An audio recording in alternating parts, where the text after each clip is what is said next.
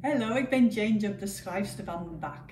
Nu is het kerstvakantie en om iets lekkers met de kinderen te maken heb ik een fantastisch recept op bladzijde 148 Supersonic Turbo Flapjacks. Ze zijn vrij van gluten, vrij van suiker en vrij van lactose, maar vol van smaak. Ze zijn echt heerlijk, dus bak ze met de kinderen deze kerst.